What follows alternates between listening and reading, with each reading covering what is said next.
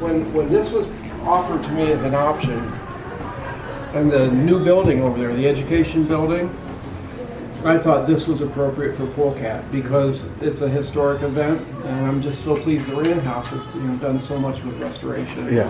And, and that, so exhibits about Polecat Porter, um, and he was here in the beginning of the NMLRA, and he shot. And my earliest exhibit is in 1933, which is a, a match uh, flyer from the third 1933. This one's 36. 33's in there but he he lived and he shot through the you know World War One, and he shot. He lived in Akron, and shot all over Ohio, Indiana. Um, was extremely active at Canal Fulton in Ohio, which is. I paid attention. I've got music in there. It's from World War um, Two, and also I brought this just to recognize he was in the he was in the war. And at home, I have a clock he brought back from England in the war. So it's up on the wall running. Um, it says that it was relieved from a bar, from a tavern during the fight. So, however that came about. This is a picture of him that's taken from Shooting Times magazine that we'll see eventually. This is first shot ever shot at Canal Fulton at the current range. And Canal Fulton range was moved, and that was shot by Porter.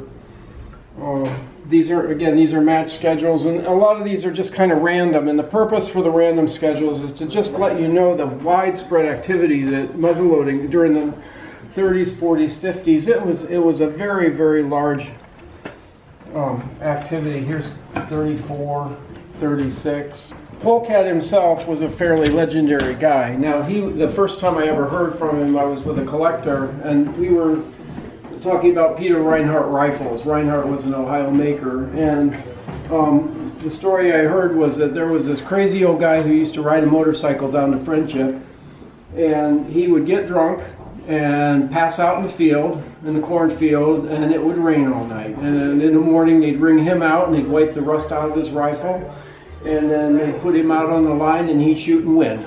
And that was the legend I heard. Well, time passed, and you know, at one point in time, I met a man who, when he told me about the rifle he had upstairs in his hotel room, I knew this was the rifle and this was the legend. This was connecting the legend. He had since passed away. This target was the first time Porter found Old Harrison, the old rifle, in the 1940s, and this was the first time it ever won set a record here at Friendship. It was shot by Porter's friend John Baldinger. Later on in the match, Porter shot the rifle and shot targets almost as well. But this one ended up getting saved. It set a record here at Friendship. It's 100 with 9 X's. That's 10 shots at 200 yards. This, these are the flyers from the 30s. Uh, again, this is the beginning of the NMLRA. This is before the Friendship match range here. Um, and these are some, this is good information to retain. This is the beginning of, this is Rising Sun, and this is Porter was named. They called him Skunk Porter. They, you know, they called him all kinds of stuff. This target was shot by Ellen Grote in 1940, and it's pictured. Ned Roberts used this in the book Caplock Muzzleloading Rifle. Um, interesting. Walt and Ellen shot a Brockway rifle, and this bench that we're looking at has been down here in the museum for years, and some people have actually rifled used, used it in modern times, and it was shot. It was made by Brockway. These targets were shot by Brockway himself, who was a great 19th and early 20th century maker. So that's, these are pictures of Brockway. So. Interesting, you know, this is Ellen Grote, and these ribbons up here on the wall, these were these ribbons were won by Ellen and Walter Grote, if you read. And so it's just really delightful to see a woman who, you know, set records and historically, you know, was an important figure. This is the Crosley radio. Powell Crosley, early in the NMLRA, Powell Crosley was involved with, you know, endorsing these matches and encouraging, and he broadcasted on the radio, which was brand new media. It was powerful and it spread a long ways. So by announcing these matches, also, Crosley would give away a radio to the winners. So Porter won at least two radios, maybe more.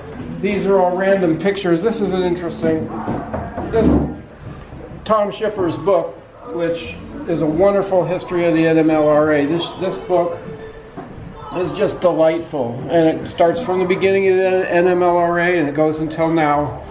Um, it's a recent publication, and if you, if you, this is an endorsement, I would encourage anybody with any interest in history and in this type of shooting to, to look at this book. Um, so someone just came through asking me for Boss Johnston, and there he is right there. But this, there's a paragraph here. It said Red, meaning Red Ferris, um, mentioned that H.W. Porter was awarded a special trophy in recognition of a fine record of losing ramrods, a hickory shaft of liberal proportions, wrapped spirally with colors, well sprinkled with instructions for use in retrievable ramrod. Read that. Be, be decked and gorgeous. Massive bow of ribbon was presented with solemn dignity and much clicking of cameras. So, in this pile of stuff that was passed on to me, was this ramrod. Now, Tom did not know that this existed when he wrote that paragraph, so there it is. That's amazing. It is amazing. It's fun. Okay, this was Shooting Times. This was Polecat Porter had a number of articles, and um, you know they were published, and, and that's Shooting Times. That's from 1964, and I have the original magazine here. And I also have there were earlier publications in the 1930s and I do have some of those. And this is one of my favorite possessions. This is the daybook from the Canal Fulton Range that was Porter's. Porter was secretary in the what 1937 to 39 period. And 37 to 39 was just post um, just pre just before the war and post depression. So this was not an easy time for everybody in Ohio. And when we look at what these guys, through this notebook of what they were shooting for, they were shooting for pineapples. This was, this was what we call a grocery shoot. And today we kind of laugh about it, we kind of joke about it, but they were shooting for sugar, beans, peaches, chicken, salmon, coffee, corn, turkey. They were shooting for serious food. It cost a dollar to shoot. That's a lot of money in 1937. So this little piece of folklore here, I think it, it tells a, a, strong story about, you know, times, about what it was like during that time. This is old Harrison. This is the, one of the slug guns. This is a your Porter shot. He was a buckskinner. He shot flintlocks, but this is his target gun. This is for shooting the long range slugs. This shot the target that we looked at earlier. This was made by Peter Reinhard in 1879. Um, it's still shooting. It's still we still use it on the range. This target here was just shot on Fourth of July at 100 yards this year, and this is the trophy that is the Lester Cox Trophy from Canal Fulton.